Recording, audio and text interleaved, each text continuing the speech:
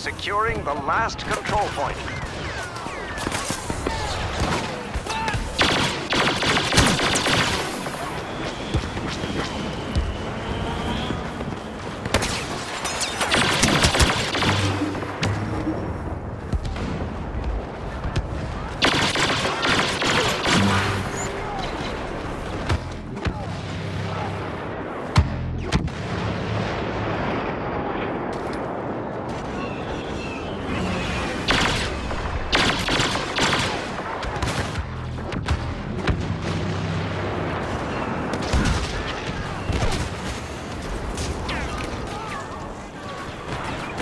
Taking command of the last control point. Watch for enemy movement.